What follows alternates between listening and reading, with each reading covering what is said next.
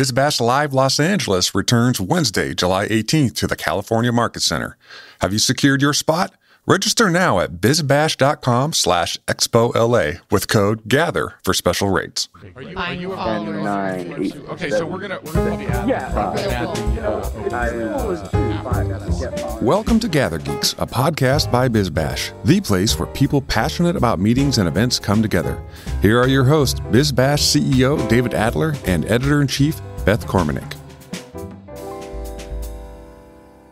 Welcome to this edition of Gather Geeks by BizBash. My co-host Beth Kormanik is on assignment, so joining me today will be our assistant editor Ian Zelaya. Hi, David. Thanks hey, for having how me. How are you, uh, Ian? You were at C2 with me, and I want to know what your first impression was before we get into our guest. I was. Um, yeah, it was my first time there, and you know, it was unlike any other conference that I've attended or covered. Really? Um, you've seen everything. Yeah, working at BizBash, I have. um, yeah, there was just, I don't want to say overwhelming, but there was just a lot going on from the moment you walk in. And um, I think when I, before I went, you know, I saw the lineup of speakers and that alone, you know, you had Snoop Dogg and Chelsea Manning and just um, speakers from a variety of industries. That alone to me seemed like a draw for a lot of people who um, were attending. But you go inside and it's just you see it's almost like an adult playground in a way. that was my impression. There's a ton of there were just a ton of experiences um, that you kind of had no idea what they were until you went and did them or went and talked to someone who was working that experience. And now you know why we've chosen that as yeah. one of our top conferences in North America for I think four out of the last five years. Yeah, like for that. sure. It's great. So it's it's interesting. I mean, I um, think of C2 as probably one of the most innovative conferences in North America. Uh, the uh, today we're going to be interviewing Richard St. Pierre, the president and chief executive officer of C2. He oversees C2's international development and mobilize the brightest minds in in in the world to to gather to sort of speak to these audiences. Uh, and it really is, I guess you describe it as a three day immersive gathering of over 7,000 incredible people from industries who connect, collaborate, and build the new sets of tools they need to create actionable solutions for the challenges of our times. It actually is a real comment. You think that just hyperbole, but it actually works in this particular case. Uh, there, you know, it's sort of like, where do you get your best ideas? He says the, the from you'll you'll hear from this interview. Is it at the shower? Or Is it in the office? Or is it suspended in a net 18 feet above ground? So each year that the C2 lab devises a new atypical brainstorming environment designed to propel participants out of their usual frame of reference it's uh, you found that as well right yeah for sure for sure there seemed to the whole idea of like having a different um, out of the box environment to facilitate conversation that was um, a lot of what I saw. Well, let's listen to Richard as he talks about this conference. Have a listen. You've been doing this for how many years now? It's been seven years. So we've been at it for eight years because the first edition took us more than a year and a half to create. And so after seven years, do you think it's working? If you take the big picture step back, what have you accomplished in your in the bigger picture of how you change the world? Uh, first, I'm absolutely convinced that it is working, and I have so many proof points. Tell me. Um, so, two things. First, even though it's dubbed one of the premier uh, and uh, so even though it is voted even number one in North America year after year, our purpose is not to do an event. It's actually to propel the economy and society forward. That's the root of why everything we see around us, uh, that's the very purpose. If we simply wanted to do an event, we'd be copycats of so many other event planners, for example. So we don't consider ourselves that.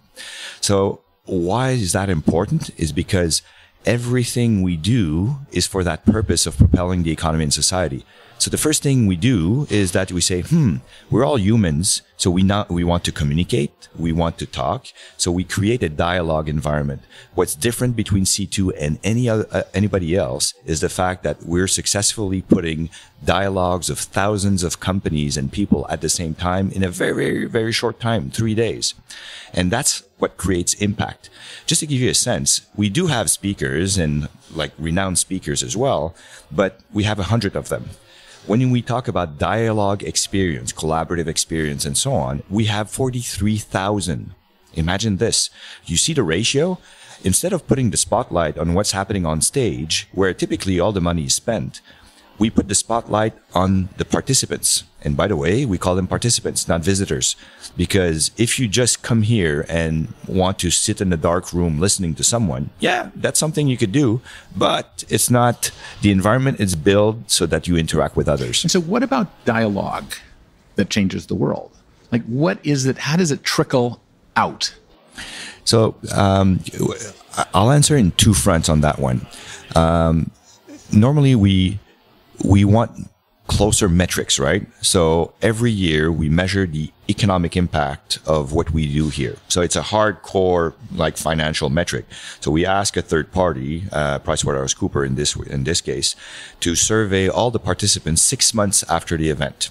And did you do a deal? Did you hire people? Did do you have investments and so on?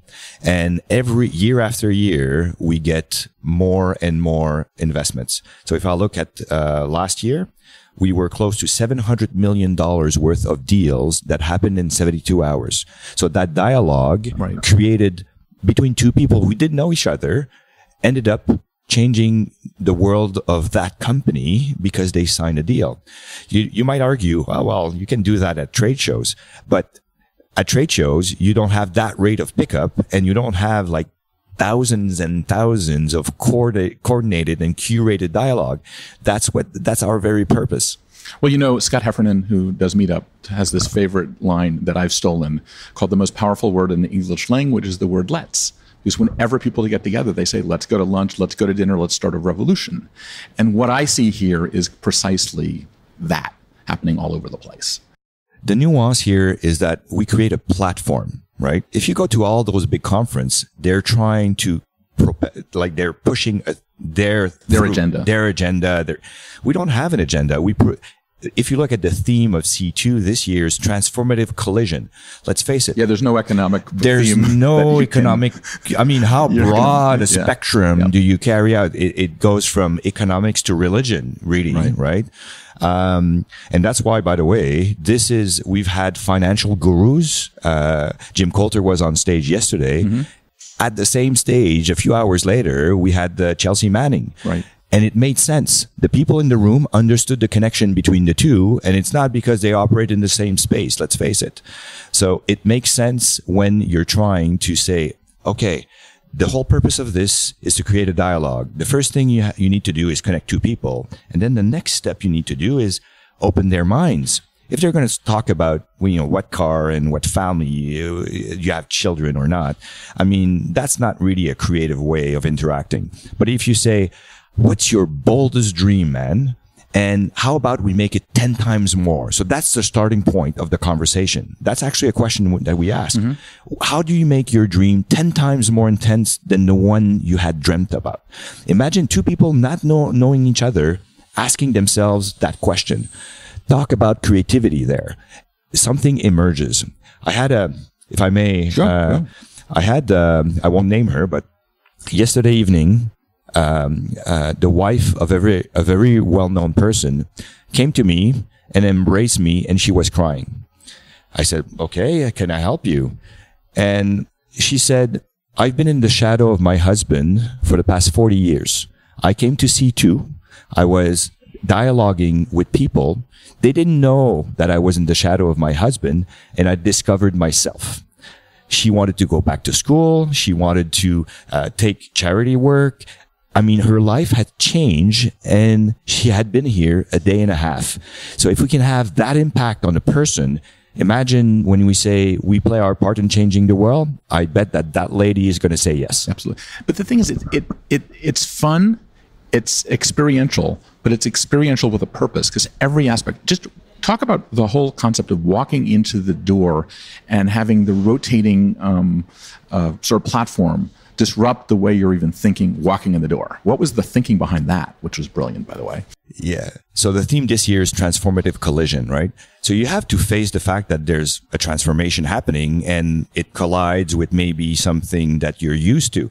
So how about you lose balance when you walk in? Which is exactly what happened. Exactly. So if you step on this turning platform, it turns slowly, Yeah. but just fast enough subtle. that you lose your balance Yeah. as soon as you set foot on it.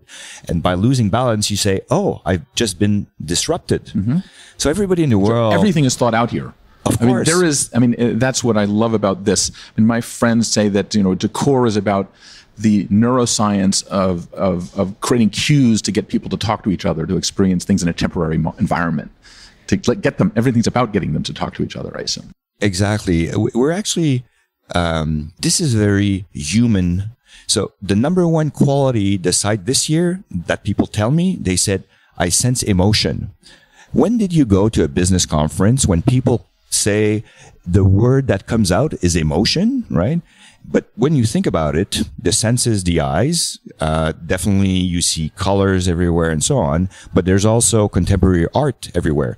Believe it or not, there are 40 pieces of contemporary art all around the site. They're lent by uh, collectors because they think that this art will open the minds of people walking in.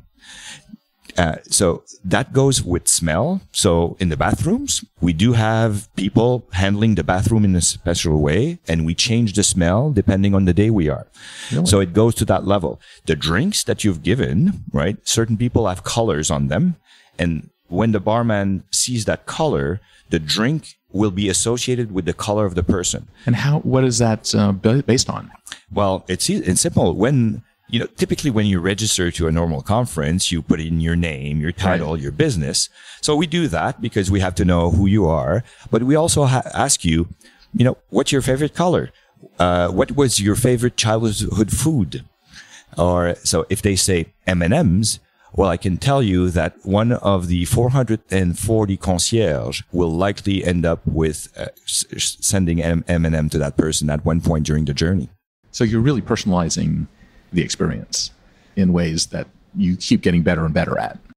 personalization, if you want to connect with someone, you cannot deliver a mass message, right? You can deliver a, a, a message to a thousand people, but you're not sure it will touch that individual. But bring them a piece of M&M at just the right time during the day, and then it's going to transform. Wow, I'm, I've just lived an experience, and it will emotionally connect that person with the interaction that just happened. So yes, we go to that level, but that is not only for the persons, it, it, it is also for the partners of C2. You know, like most conferences, they have like the silver package, the gold package, and the more you pay, the bigger the logo. Well, guess what? If you look around here, you, I'll challenge you to find that many logos. And when we go and speak to them, and I've done that many times, you go to a partner and say, Hey, you should participate at C2. By the way, we say participate. We don't say sponsorship, right?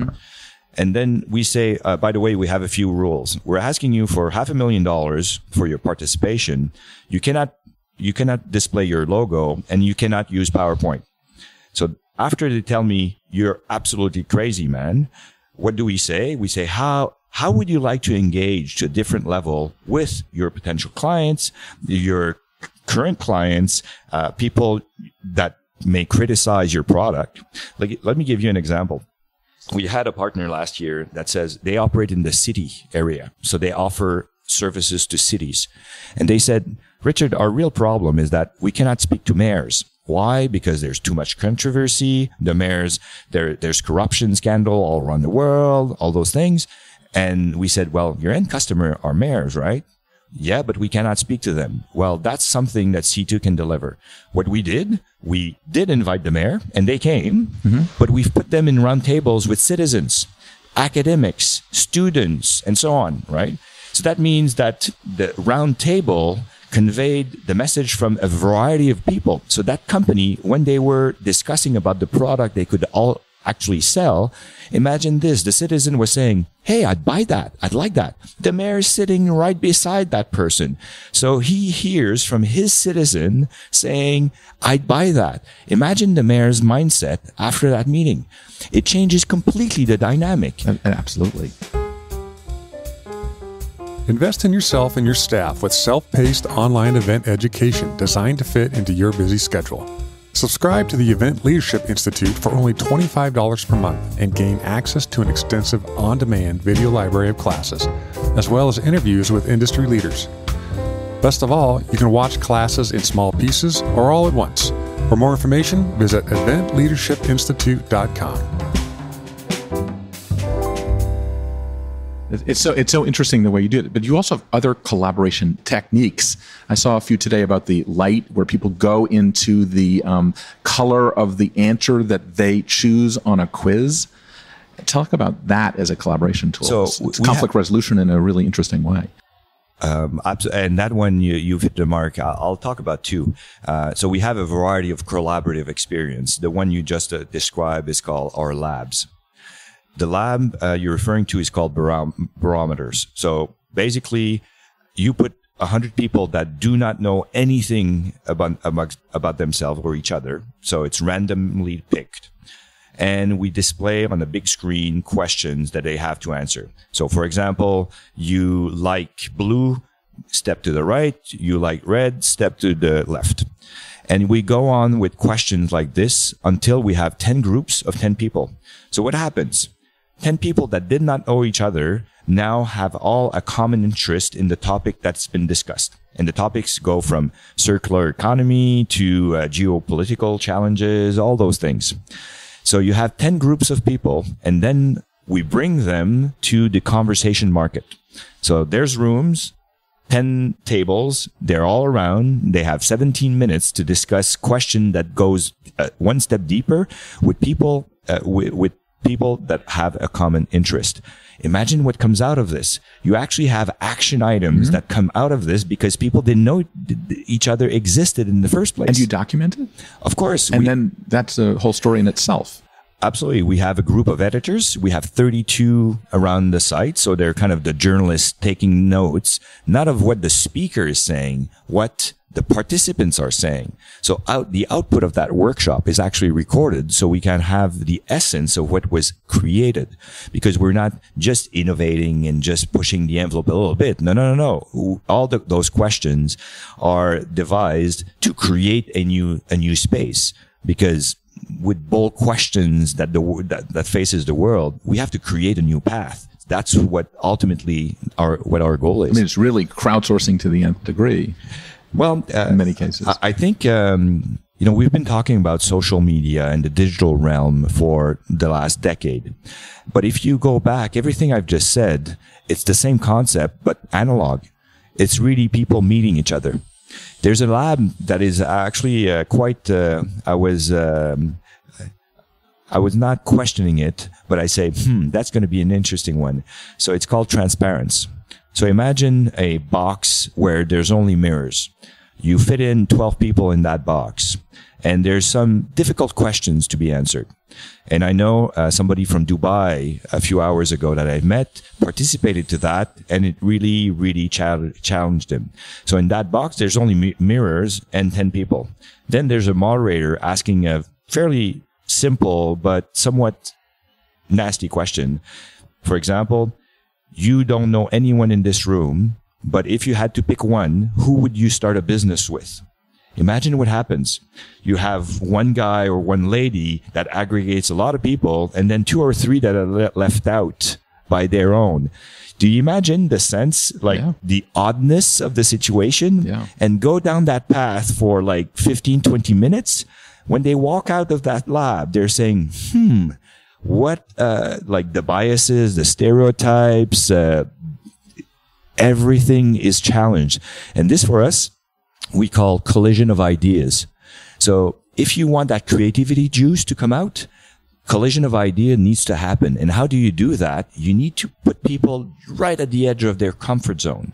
Because if you stay in the comfort zone, well, it's going to be mostly likely, you know, the typical answer that come out. Is this kind of like when you talk about brainstorming and it's there's no bad ideas? There actually are sort of things that happen that are not great. So it makes you change your perspective. It sounds like. Um, yes, but I, I think you know when we talk about brainstorming, we often talk about post-its, right? And Yes. how we push ideas and so on. The problem with that, and it, works. All right, we use it ourselves. The problem with that is that until you confront the person in a nice way, Yeah. right? Uh, last year we had people up 50 feet up in the air. Yeah. So why a brainstorm 50 feet up in the air? Why is because you're scared, Yeah. right? When you're thinking at the same time, why are you talking to me about uh, the implication of business and poverty when I'm scared for my life 50 feet uh, up in the air? And by the way, we put a mirror at the bottom so it even looks higher. The answer that we get from the people up there is completely different than doing the same thing on the ground. So post it is okay, but how about you challenge even the emotional root of the person? Oh, yeah. No. It change the, what you write on that post it Yeah. is completely different. That's so interesting. Do you? I noticed that also you are now expanding, and you're also partnering with groups like IMEX and bringing some of these proven techno- techniques. How does that work? I mean, it seems like you, it's pretty radical. You said the event industry is kind of behind the times a little bit, and you're trying to make them more progressive. When you introduce these kind of techniques to a sort of a traditional model, how do they react? Um, first, I think the model I've just described is the model for the 21st century.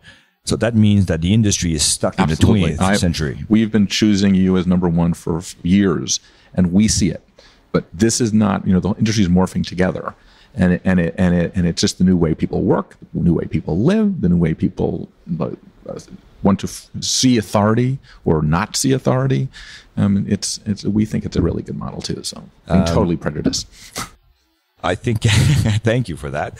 Um, that being said, I think um, uh, it's a complex thing to do. Why? Because the mindset of the industry is focusing on the right, wrong spot. I started by saying that all the money, budget, effort typically is on the main stage. And how much is on the crowd? Well, is the coffee going to be a bit better or the donuts will have some creamy stuff on Yeah, top it's all it? logistics. No it's it, that's not what we we're talking about here. Yeah. If we start with saying we want to put people together, and the stage is the secondary thought yeah. by which we're gonna make everything gel together, it completely changed the dynamic. So if I talk to someone who's been doing this for 30, 40 years and bringing people to events, they're saying, hmm, how do I start doing that? And you're talking to me about partnerships. I, I, you, do you mean that every of the 47 partners that I have now, I will have to, curate an experience for each one of them? You bet. Not only that, you have to curate an experience for every one of the 4,000 participants in the room. And that becomes mind boggling because the structure itself of the company is not fit, does not align with that concept. And we do have a lot of companies in the event business that says, hmm, we want to embrace your culture because we've been trying to copycat you guys by having more post-its and it's not working. Right. So C2 has an approach that is different. And guess what? The approach is that we're not an event company, right? We're trying to, to, to, che- to, to Well, you, I call what you do, you're collaboration artists more than you are actually. You, it's a whole different level of, of interaction. How did it work at IMEX? Like, what did you do to when you introduced? Um, I know that you introduced some of the hanging chairs and things like that and brainstorming. So IMEX was in Frankfurt two weeks ago. Uh, we were approached by IMEX because of the, let's say the, the, the, how much the industry is talking about C2. I'm very humbled, by the way, by this industry, uh, using C2 as a benchmark. We hope we're helping that out a lot. Uh, actually, you are. Uh, but uh, when you go to uh, Doha and Qatar, Yeah, they- and you walk out the plane and you say, "I'm with C2," and people says, "Hey, you're the reference we were looking for." I mean, let's face it, it's, it's very humbling. I mean, we're a small company here based in Montreal, and when you have that kind of, of clout in the event industry, um, that means that we're doing something right.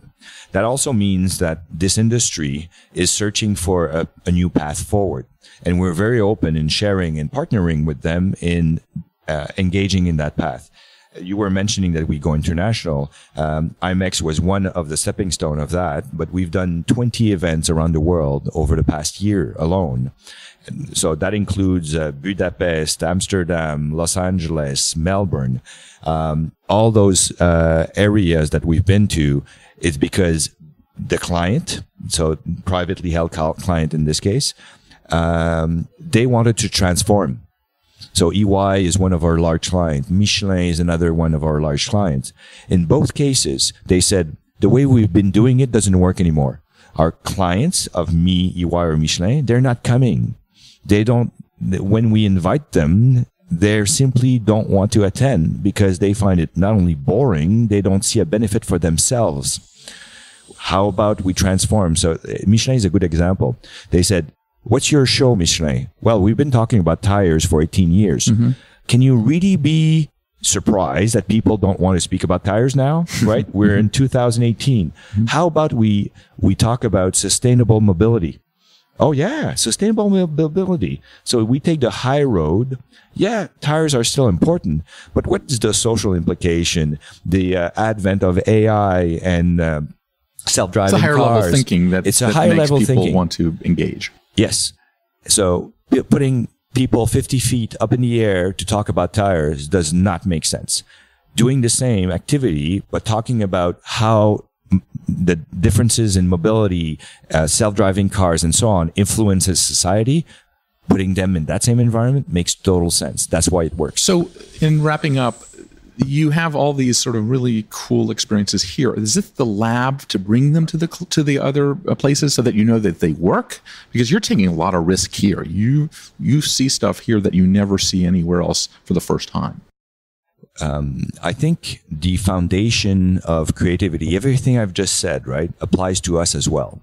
So the first rule we say to ourselves every year after C2 is that we start anew.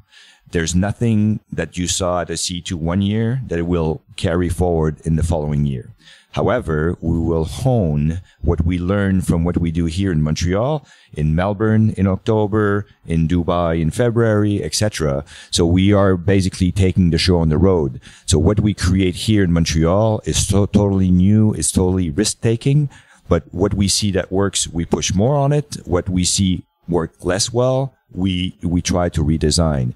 And we do circumvent the planet once and then we carry forward and do the same in 2019 and on. Who is who is analyzing what doesn't work?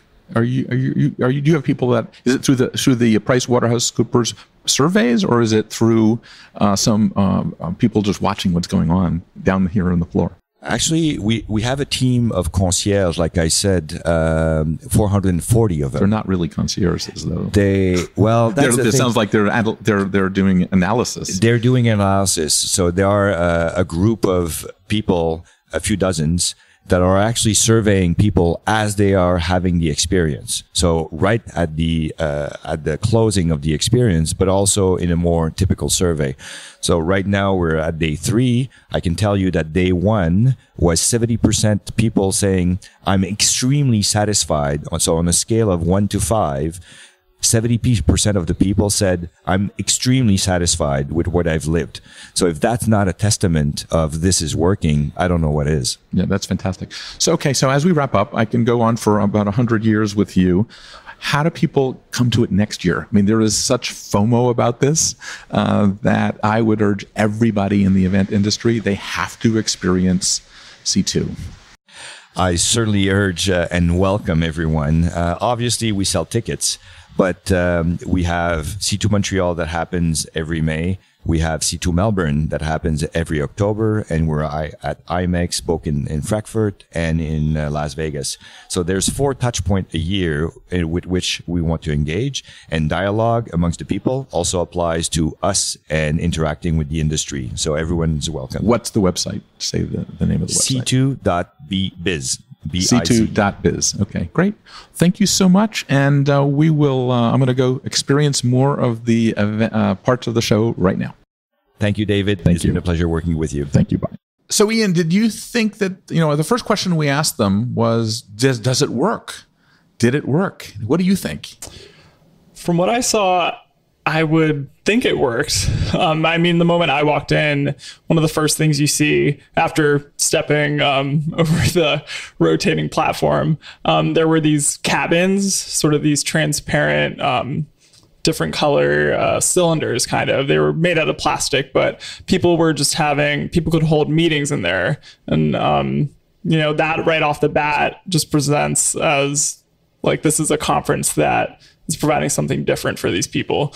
Um, and then I think the other main thing that I noticed was there was a whole area where attendees could schedule brain dates. Um, so based on, uh, I guess the interests that they put in their um, attendee profile, uh, people working that section would pair them up. And um, I got to tour sort of the brain date um, area, and it was kind of just all different types of seating, a multi-level area where people were just talking about what they wanted to talk about. I love what, so. what Richard said about that it's you make a choice as an attendee because there's not enough space for everybody to go to everything. Exactly. And so it was and and it, it sort of changed the way you think about it because it really isn't about what's on the main stage. As he says very, very clearly, it's about the people who are conversing mm-hmm. and are creating deals and are changing their lives. Um, and it really is. I mean, when collaboration is sort of the centerpiece. I mean, it's my whole thing, as you know, mm-hmm. uh, that I think collaboration can change the world. And they're actually one of the few engineers uh, that know how to do it well. So um, this is at this point, I usually ask Beth, like, what's going on at BizBash? Do you have any? Uh, what's coming up? What are you writing about? Um, well, I'm writing about C2. yeah. Um, and actually, um, a lot of other Canada experiences. Um, I'm currently writing about something that American Express Canada did in Toronto. because um, they do a lot of pop-up experiences whenever they're launching a new campaign or product. So I just wrote about um, there was a pop-up experience that they did. They collaborated with local artists to create sort of like a 29 rooms inspired uh, exhibit um, based on each of what they call their consumer passion points. So there were like travel theme rooms, food theme rooms, um, very Instagrammable. So. So, I you're our editor in Canada, and I guess you see. I mean, the creativity there is pretty incredible from yeah, what we see at C2. Sure. I mean, I, I, they really, they really have got it going on. Mm-hmm. Um, so that's great. Uh, so thank you so much, Ian, for helping today, pinch hitting. And uh, until next time, uh, we always say at the end, gather on. Gather on. Thanks great. for having Thanks. me. Thanks, Ian. Thanks for listening to today's episode. If you like what you're hearing, be sure to subscribe to the podcast on iTunes or your favorite podcast app. We can be found on iTunes, Stitcher, SoundCloud, Player FM, Google Play, and Pocket Cast. Be sure to leave us a rating and review. It helps others discover the Gather Geeks podcast. We'd also love to hear from you. You can leave feedback on Twitter at GatherGeeks or leave us an email, gathergeeks at bizbash.com. We hope you'll join us again for the next episode of Gather Geeks. Until then, gather on. Don't forget to register for BizBash Live Los Angeles on July 18th at the California Market Center. Join nearly 1,500 fellow event pros at the must-attend event of the year. Secure your spot today at bizbash.com slash expola with code GATHER for special rates.